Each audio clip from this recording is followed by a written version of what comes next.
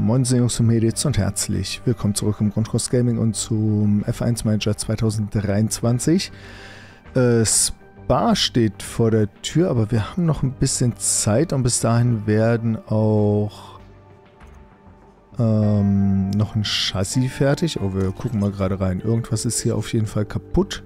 Da müssen wir mal gucken. Äh, eine Aufhängung müssen wir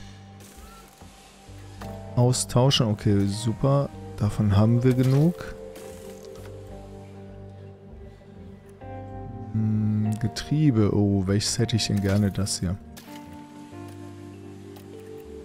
Das ERS, mal gucken, ob wir da... Ja, da haben wir noch ein altes für das Auto. Und Motor, ja, dann können wir hier den 22er... Ja, passt. Benutzen wir einfach nochmal fürs Training. So, Auto 2. Was haben wir denn da? Auch die Aufhängung. Okay. Dann sollten wir wahrscheinlich auch mal neue bauen. Müssen wir gleich mal gucken, ob da noch welche da sind.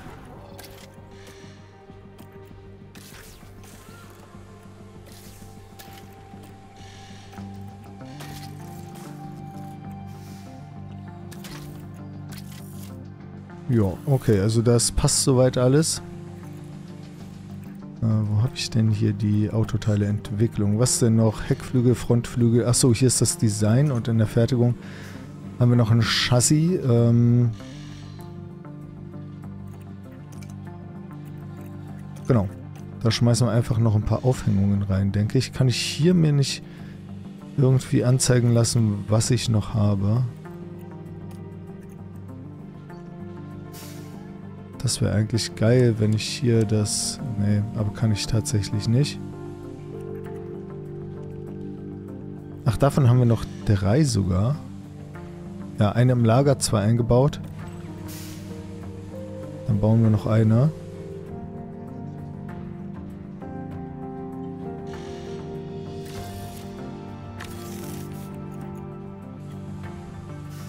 Ja, wie komme ich denn von hier aus ins Lager? Da komme ich ins Lager. So, ähm... Chassis haben wir vier, wunderbar.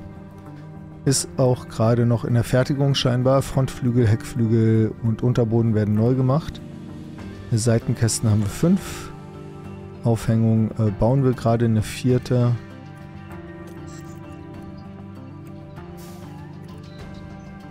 Ja gut, da ist ja alles easy. Äh, was haben wir denn hier im Posteingang? Ergebnisse der Untersuchung haben wir uns gerade angeschaut. F3-Fahrertalent. Meh. Ergebnisse der Abstimmung. Äh, worum ging es denn da?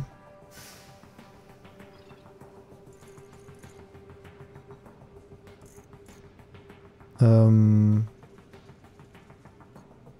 ja, die Regeländerung im Bereich sportlich, okay.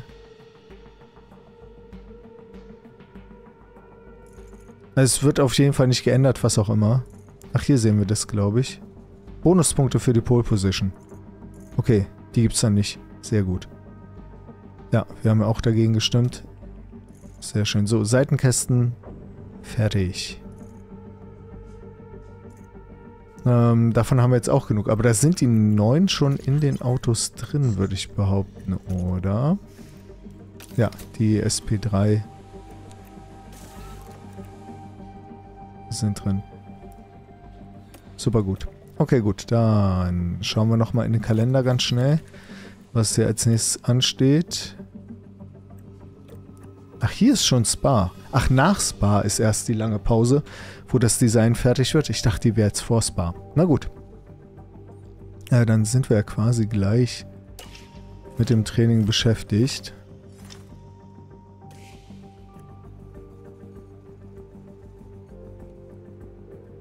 Aber dann könnte ich auch noch eine Aufhängung.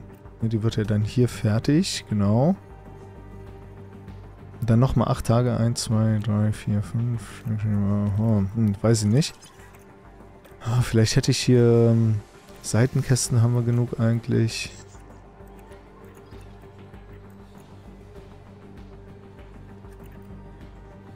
Noch ein Chassis vielleicht eher. Ah, keine Ahnung.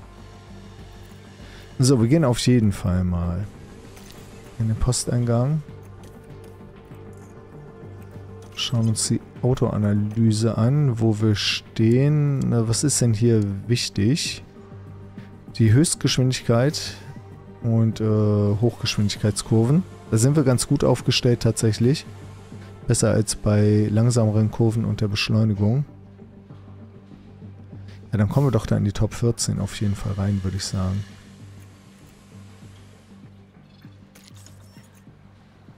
Dann kommen wir doch in die ähm, Q3 sollen wir erreichen. Okay. So, beide in die Top 14 schaffen wir. Q2 erreichen wir auch mit beiden. Ja, doch. Sollte machbar sein. So, die schnellste Runde. Zielplatzierung, beide Wagen in die Top 14 nehmen wir. Na, das ist so ungefähr das, was wir machen sollen. So, glücksschnelle Zielplatzierung, beide Wagen in die Top 15. Qualifying-Rang.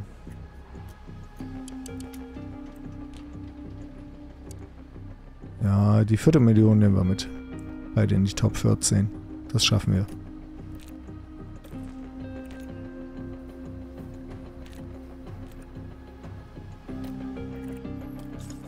Achso, können wir hier zurückgehen. Äh, schauen wir uns mal an. Äh, 44 Runden werden gefahren. Äh, 7 Kilometer ist die Strecke lang. Das äh, Wetter ist gut. Moment. Ah, es ist ein Sprintwochenende schon wieder. Ach, das ist ja belastend. Ja, in der echten Formel 1 wurden die Regeln da jetzt geändert, dass es nicht mehr so nervig ist. So, Höchstgeschwindigkeit und hohe Geschwindigkeitskurven sind wichtig. Daran können wir uns vielleicht so ein bisschen entlanghangeln. Aber was sind denn die Strategien, die erwartet werden? Soft Medium zum Beispiel. Ja, können wir mal schauen. Ah, jetzt müsste ich wieder wissen, wie es mit den Reifen ist, ne? Am Sprintwochenende, ich glaube, wir geben keine zusätzlichen Paare ab. Wir haben einmal Mediums mehr für den Sprint. Haben dafür einmal weniger, eine Trainingssession weniger. Na, ich weiß nicht. Wir werden es gleich rausfinden wieder. Dieses Wochenende sind wir in Belgien, in der wunderschönen Provinz Lüttich. Kurz vor der Saisonhälfte ist im Titelrennen alles offen. Können die Teams vor der Sommerpause nochmal zuschlagen oder hoffen sie auf einen Reset danach? Spa-Francorchamps muss man wohl nicht mehr vorstellen. Von der Kurvenkombination Eau Rouge-Redion bis hin zur rasenschnellen Pouhon. Es warten knapp über sieben Kilometer wundervolle Rennstrecke, soweit das Auge reicht. Mitten in der belgischen Natur. Die Teams müssen zwei Rennen bestreiten. Denn ein Sprintrennen entscheidet über die Startreihenfolge für den Grand Prix. Meine Damen und Herren, das ist F1.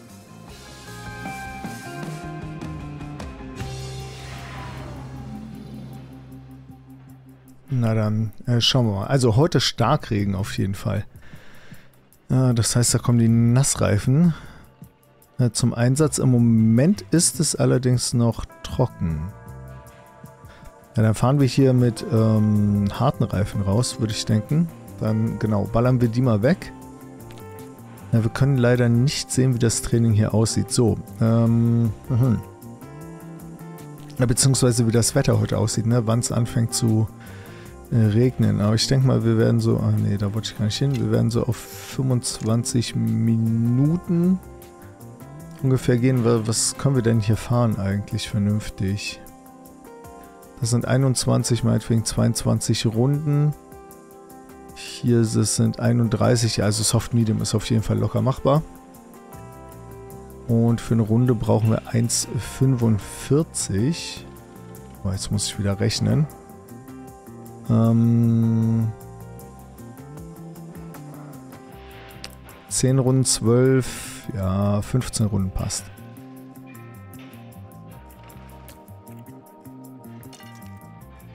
Achso, die Reifen können wir wahrscheinlich normal machen. Ne? Die halten ja richtig lange. 61 Runden, genau. Aber die Antriebsstrangteile werden wir schonen.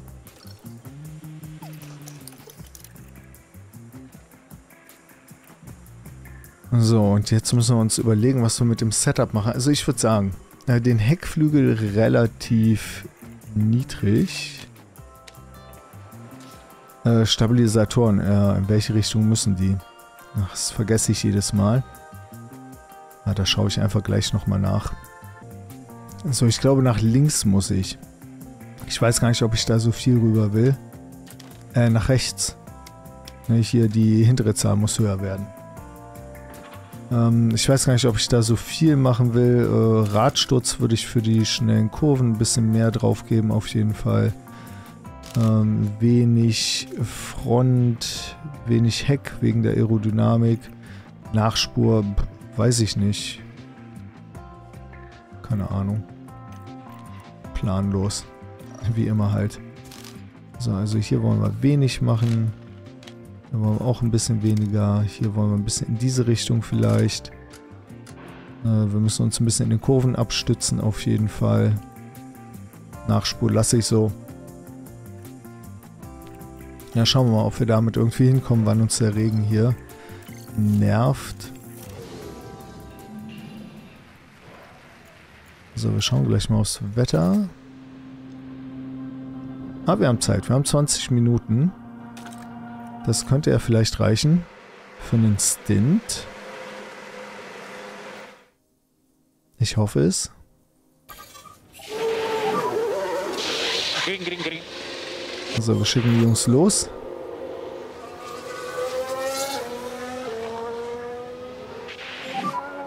Radio check, radio check.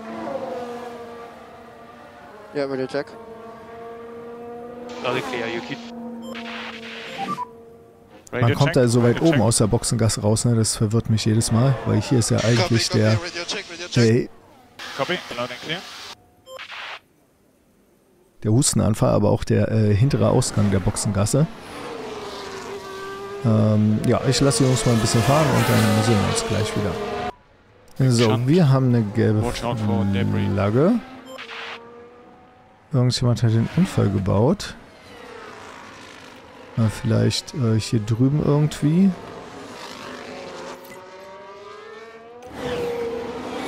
Ist hier irgendwas zu erkennen? Nee, da ist nichts zu erkennen. Wir kriegen auch kein Replay. Oh, keine Ahnung. So, Setup-Zufriedenheit ist gut. Bei Theo, da schauen wir mal, wie gut ist denn das? 76%, ja, immerhin. Äh, Wie sieht's mit dem Wetter aus? Ja, also wir kommen rein, dann fängt es an zu regnen. Das heißt, wir fahren da... Gott, wie nass wird denn das? Vielleicht reichen Intermediates. Ja, hier steht feucht. Ja, dann fahren wir auf Intermediates wieder raus. Also hier können wir den Stopp schon mal machen. Die Runde ist natürlich gerade losgegangen. Boxeneinfahrt war da hinten. Das heißt, wir fahren hier noch eine wunderschöne Runde rum.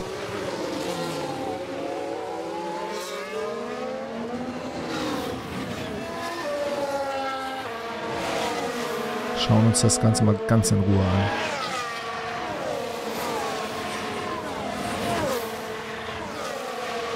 Hm, Vielleicht wird Yuki ja auch diese Runde fertig. Ich denke nicht, dass er hier eine ganze Runde länger braucht als Theo. Das wäre schon krass.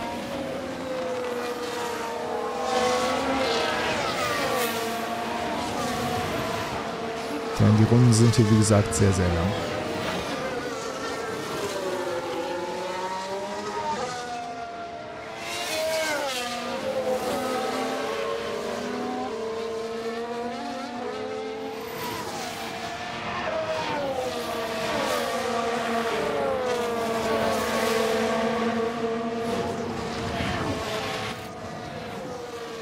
Das Wetter vorhergesagt? Ja, wissen wir. Aber Yuki könnte jetzt echt mal langsam fertig werden.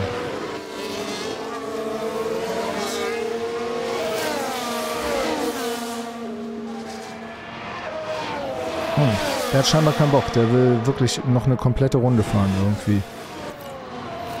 Jetzt ist er soweit. Oh, ja. 751 Meter vorher. Was sagt er? Auch 76 Prozent. Okay, gut. Da bin ich bei beiden also gleich mittelprächtig. it's not too bad. Okay. The entry. So follow pit lane speed limiter obviously. Stop in front of the garage. So, dann schauen wir mal. Wo die Jungs noch ein bisschen zu meckern haben.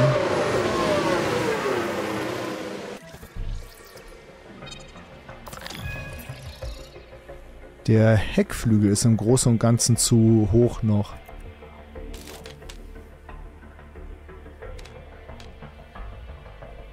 Wenn ich den jetzt hier ganz flach machen würde, dann käme ich mit der Traktion hin. Hier müsste ich noch ein bisschen hoch.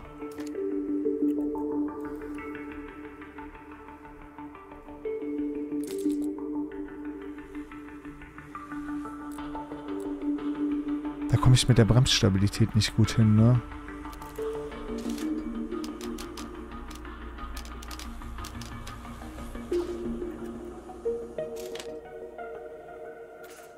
So komme ich da deutlich besser hin.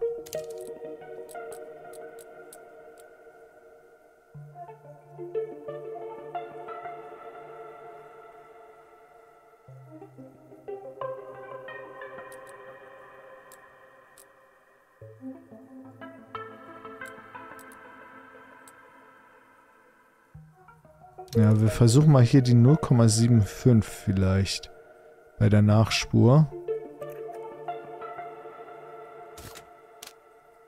Oder gehe ich hier noch ein bisschen über den Frontflügel?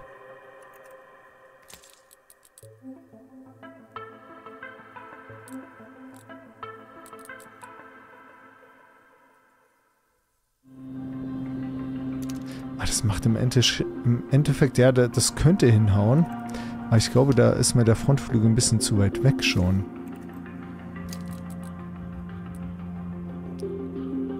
Ich denke, ich probiere das mal so. Äh, mal gucken, ob das hinhaut. Ach so, äh, Reifen natürlich. Intermediates bitte gerne.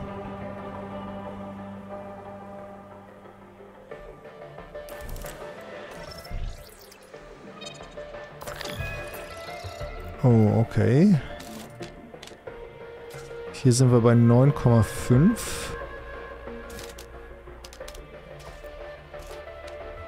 Wenn ich auf 9 runtergehe, brauche ich richtig viel Frontflügel, ne? Oder kann ich das durch die Traktion ausgleichen irgendwie?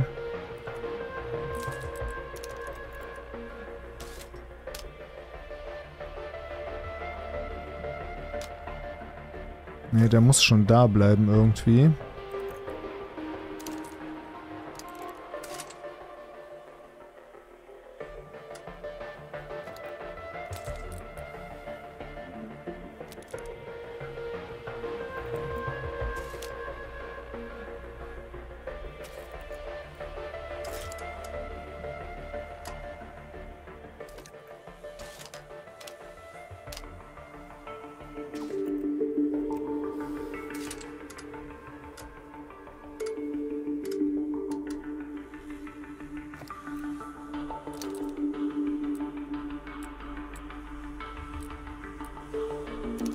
Können es mal so versuchen. Na, vielleicht bringt das ja was. Ja, dann schicke ich die Jungs gleich wieder auf die Strecke. Wenn es anfängt zu regnen und wenn hier was passiert, seid ihr wieder mit dabei. So, wir haben jetzt genau eine feuchte Strecke, aber gleichzeitig auch eine gelbe Flagge. Wegen der hatte ich eigentlich pausiert, aber da kommen wir auch wieder nichts. Ja, irgendjemand ging weit nach außen, okay. Wer? Keine Ahnung. Ja, es ist jetzt auf jeden Fall feucht, ne? Wir, wir sind raus, das ist hier gerade die Outlap. Und ähm, ja, da ist es jetzt auf jeden Fall schon feucht genug geworden für die Reifen. Passt also alles hier. Oh mein Gott, Leute, ich habe gerade entdeckt, ich war dumm. Ich habe nämlich bei Theo nicht die Reifen gewechselt auf Intermediates. Oh nein. Okay, also den muss ich nochmal reinholen, muss dann nochmal die Reifen wechseln. Und dann kann er hier gemütlich fahren. Ach so Mist. Also ein Feedback-Punkt haben wir bei Theo aber schon. Ähm, der war auch wieder optimal. Das war einer von denen, den wir schon optimal hatten. Also das, das passt zumindest.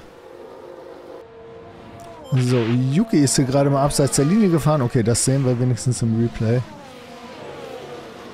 Ähm, es ist inzwischen gerade trocken geworden. kommt er von der Ideallinie ab. Vielleicht ein kleiner Kampf mit dem Wagen? In dieser Runde. So, wir schauen hier mal gerade. Ähm, aber wir haben das...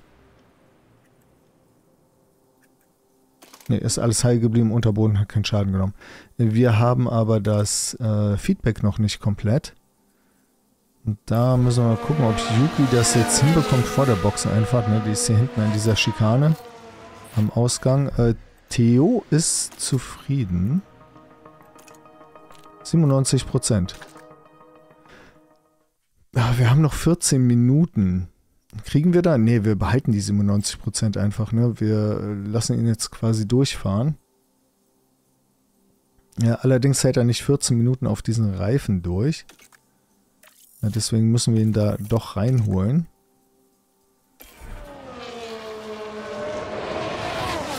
Und dann könnte er noch so 10 Minuten ungefähr fahren. Das bringt ihm dann was. So, jetzt ist Yuki am Boxereingang vorbei.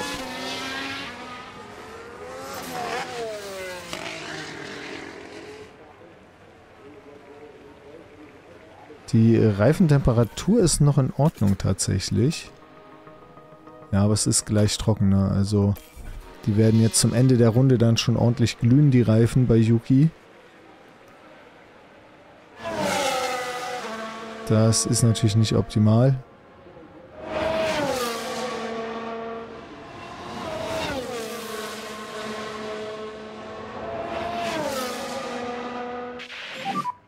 Bitte.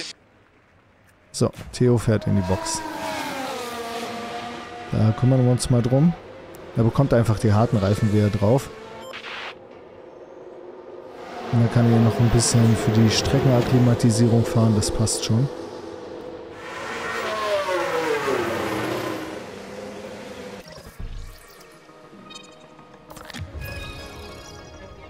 Ja, das ist ja irgendwie noch so ein Klick äh, Frontflügel, denke ich mal. Den können wir schnell mal hochstellen. Ja, das, äh, nee, es versaut uns alles. Ähm, nee, da basteln wir jetzt nicht dran rum, ne? Also wir sagen einfach, diese 97%, die reichen uns erstmal. Wir schmeißen hier nur wieder die harten Reifen drauf. Und dann haben wir noch 13 Minuten. Da brauchen wir gar nicht so viel auftanken.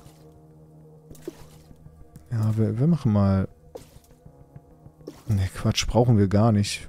Das sind... 7, 8 Runden vielleicht. Ach, wir sagen 10. Passt schon. So, und bei Yuki sehen wir jetzt, ne, die Reifen werden richtig heiß.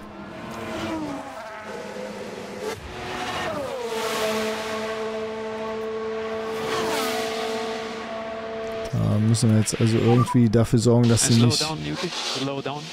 Komplett wegschmelzen. Und den Feedback-Punkt, den hätte ich jetzt gerne, aber den fünften. What is the limitation, Yuki? Großartig. Copy, copy. 95%. Okay, gut. Damit geben wir uns wahrscheinlich auch zufrieden.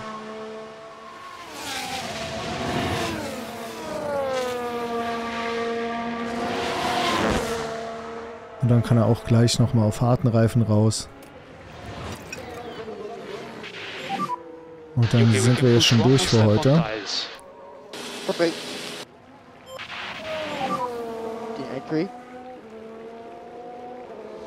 Speed limiter on.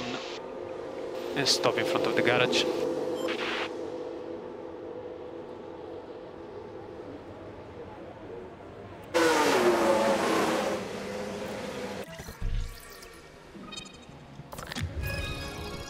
Ja, gut, okay. Also da sind wir hier ein bisschen daneben auf jeden Fall. Das hätte man noch besser machen können.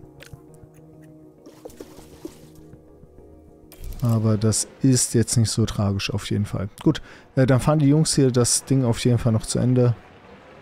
Holen sich ein bisschen ihre Streckenakklimatisierung. Und dann sehen wir uns nach dem Training. Check your flag, check your flag.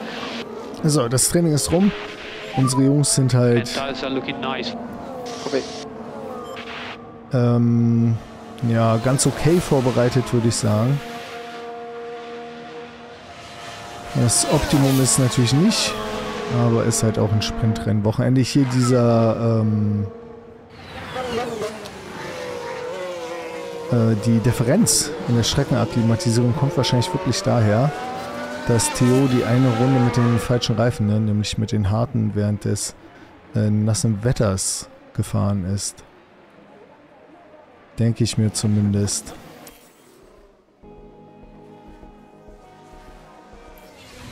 So, wir schauen mal. Ja, Carlos Sainz auf Softs hier irgendwie, dahinter Verstappen relativ dicht beieinander. Pierre Gasly auch richtig dicht dran. Okay. Dann Russell, okay, also das könnte vorne ganz interessant werden. Ähm, die haben hier irgendwie ein Auto immer mit Softs hingeschickt und das andere dann mit mm, Mediums. Oh, hier gibt es Startstrafen für Hülkenberg, Ricardo, Alban. Ja, der zweite Ferrari auf Mediums. Der zweite Mercedes sogar auf harten Reifen unterwegs hier. Wo sind denn der zweite Alpine hier auf harten Reifen? Und Sergio Perez auch auf harten Reifen. Ja, okay, gut. Dann wissen wir Bescheid. So, Fahrervorbereitung bei beiden bei 80%. Ist, ist in Ordnung, würde ich sagen.